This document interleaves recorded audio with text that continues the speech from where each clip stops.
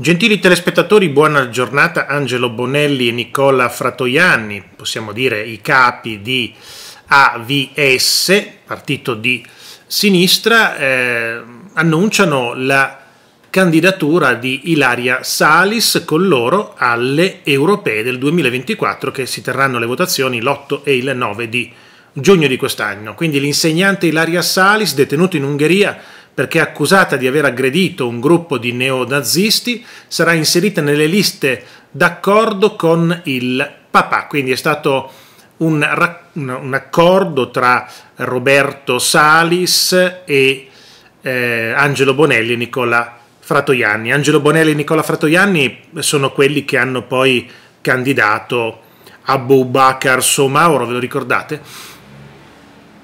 Che pensavano con Soumaoro di di avere l'asso nella manica perché era l'anti-Salvini, Salvini era il 35%, quindi su Mauro era l'asso nella manica contro Salvini, poi insomma ora è successo quello che avete visto e Salvini è al 7,5%, quindi oggi puntano tutto su Ilaria Salis, non come anti-Salvini ma come eh, pull factor, fattore di attrazione perché porterà molti voti dal PD dal, da Renzi, da Calenda, da altri partiti di sinistra e anche dal centrodestra, che voteranno non per AVS, molti voteranno non perché interessa qualcosa a questo partito, voteranno solo per aiutare questa donna ad uscire dal carcere dove rischia 24 anni.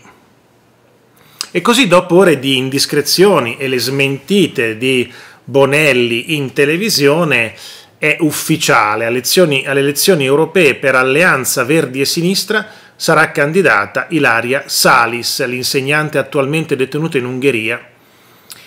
È diventata un caso per il duro trattamento. Attenzione, attenzione. Eh, non è diventata un caso per il duro trattamento. Dire così è falso.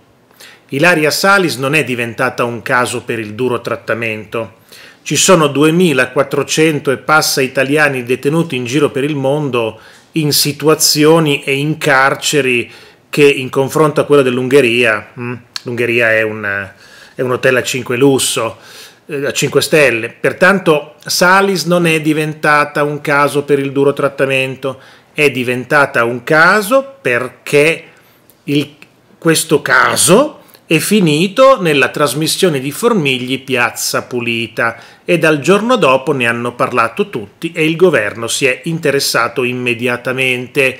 Ma il padre di Laria Salis aveva già contattato il governo da più di un anno, ma non aveva ottenuto nessuna risposta. Quindi non c'entra niente il trattamento duro è perché è venuto fuori il caso mediatico. Poteva essere lei o poteva essere qualsiasi altro detenuto italiano in giro per il mondo, non ci sarebbe stata differenza.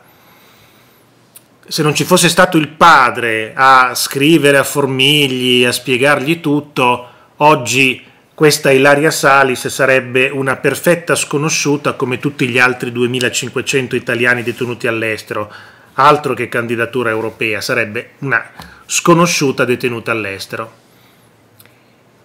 Dopo l'incontro con il padre in carcere, la Salis ha deciso per AVS, d'accordo con il papà, candidiamo Ilaria, annunciano Nicola Fratoianni e Angelo Bonelli.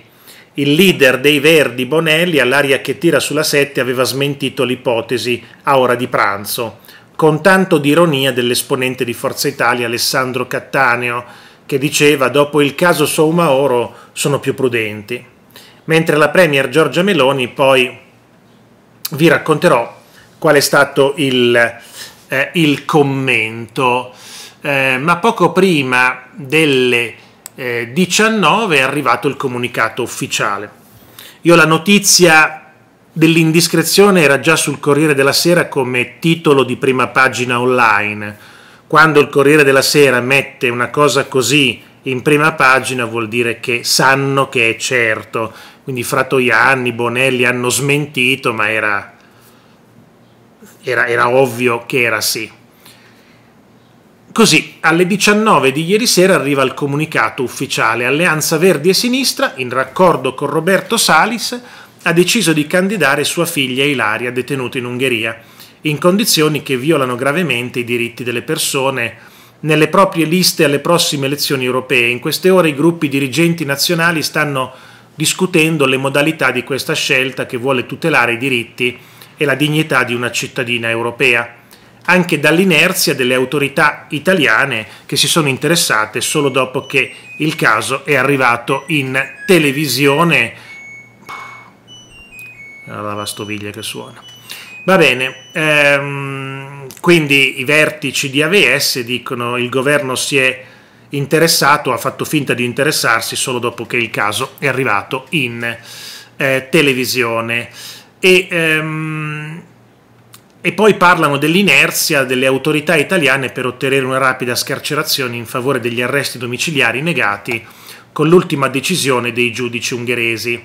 La speranza di Bonelli e Frattoianni i leader di Europa Verde e Sinistra è che intorno alla candidatura di Salis si possa generare una grande e generosa battaglia affinché l'Unione Europea difenda i principi dello Stato di diritto e riaffermi l'inviolabilità dei diritti umani fondamentali su tutto il territorio e in ognuno degli Stati membri.